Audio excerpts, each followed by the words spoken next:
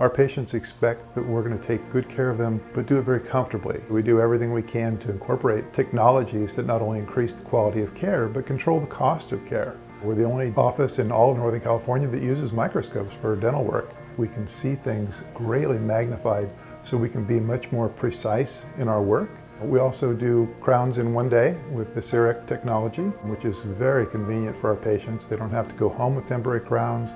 They don't have to get numb again. It takes about 45 minutes. One other thing that sort of sets us apart is we use lasers for gum surgery. It's just a kinder, gentler way to go. The healing time is a day or two instead of a week or two. It's actually cheaper than traditional surgery. We can do it a little quicker than with scalpels and sutures, and we're able to pass that along to our patients. When new patients call our office, sometimes they've got a specific dental problem, and if that's the case, we'll get them right in and take care of that problem. Other people just know it's time for a checkup and we'll talk through the different treatment options. Sometimes it's price driven, sometimes it's cosmetically driven, but we're willing to work with our patients in whatever way they need.